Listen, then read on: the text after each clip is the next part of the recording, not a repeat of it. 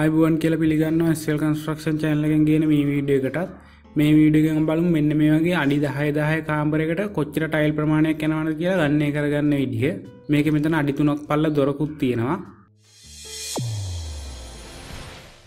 මුලින්ම අපි සම්පූර්ණ ෆ්ලෝේරියය කොහ ගන්න ඕනේ. අපි දන්න මේ අඩි දහය දහ කාම්බරයක් ඇතකොට ෆ්ලෝේරයකෙන් වර්ගඩි සීයයි. මේකද අපිතුමු වර්ගඩි එකේ ටයිල්ලේ ගැන අඩි අඩි ටයිල් පාවිච්චි කරනවා කියලා.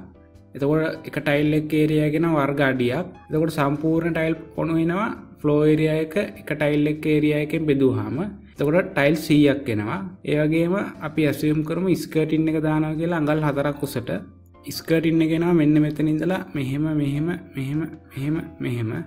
බිත්තිය වටේටම එනවා. එතකොට ටෝටල් ස්කටින් ලෙන්තගෙනවා දහය වැඩි කිරීම හතර. රින මෙන්න මෙතන දොරළඟ අඩිතුන තෝට දහ වැඩි කිරීම හතර රින තුන කියන්නේ අඩි තිස් සතක් අඟල් හතර ස්කරින් අපිට එක ටයිල් එක්කින් තුනක් කපා ගන්න පුළුවන්. එතකොට තිස්සත වෙදීම් තුන කියන්නේ දොළහ දශම තුනයි තුනයි. ඒ කියන්නේ ආසන්න වශයෙන් දහතුනයි ඒකන් ස්කරින්වලට ටයිල් දහතුනක් අපිට ඕන වෙනවා. මෙතන දියපයාගත්ත ෆ්ලෝ එක ටයිල් සීයක් කෝලේනවා කියලා. මෙතන දහගත්තා ටයිල් දහතුනක් කෝලේනවා එතකොට ටෝටල් ටයිල් රික්වයමන්ට කෙනවා එකසිය දහතුනක් නමුත් අපි ඕඩර් කරනකොට සියට පහක් වැඩිපුර ටයිල් ගේන්ඩෝනේ එහෙම සියට පහක් වැඩිපුර ගේන්න ඕනේ සරල කාරණ කිහිපයක් හින්ද.